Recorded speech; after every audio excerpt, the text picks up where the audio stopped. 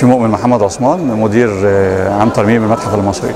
والله الحدث دوت هو الحدث ده بالنسبة لي حدث مهم لأن أنا تخصصي في الأساسي تخصصي في ترميم البردي.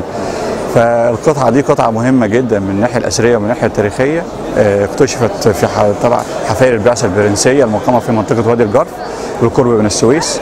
آه، كان رئيس البعثة هو بيير تاليه والاكتشاف دوت كان حدث يعني هزة كبيرة في أوساط ال- العاملين في تخصص البردي وفي الآثار بشكل عام بشكل عام يعني لأن هي ده بيرصد لاكتشاف آه، أقدم بردية مكتوبة في العالم القديم ترجع لعهد الملك خوفو في الاسره الرابعة.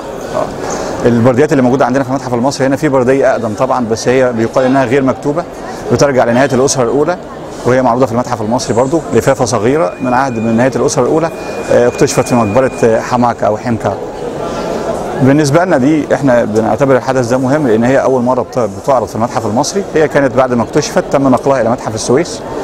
آه، وبعد كده سيادة الوزير آه، دكتور خالد العناني طلب إن هي تأتي المتحف المصري ليتم ترميمها وعرضها ويتم عمل حدث مهم بهذا الشأن. آه، إحنا استقبلناها من حوالي شهر في معمل البردي بالمعمل البردي معمل ترميم البردي بالمتحف المصري وقمنا بعد عمليات التوثيق ليها السريع وبعد كده آه، قدرنا إن إحنا نحدد أجزاء منها لأن هي الكم كبير.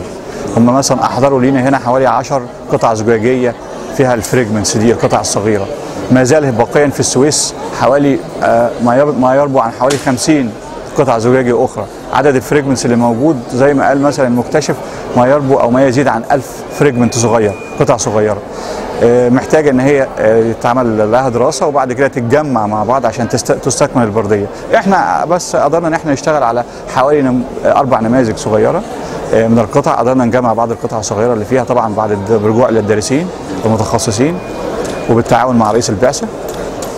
وقمنا بعمليه الترميم دي وعملية إعادة التجميع وعملية التقوية وعملية العرض اللي هو موجود أنتم شايفينه حضراتكم آه، في خلال هذا الشهر بس يعني. يعني إحنا اشتغلنا خلال شهر أنا وزملائي طبعا في معمل في معمل الترميم اشتغلنا بشكل مكثف عشان يخرج هذا الإنجاز يعني وعشان الناس تشوفه. لأن أنا بعتبره والله حدث استثنائي.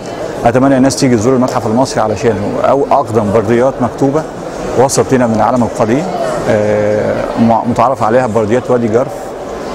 قرب السويس. أتمنى يعني الناس تيجي تزور المتحف وتتفرج على على البرديات دي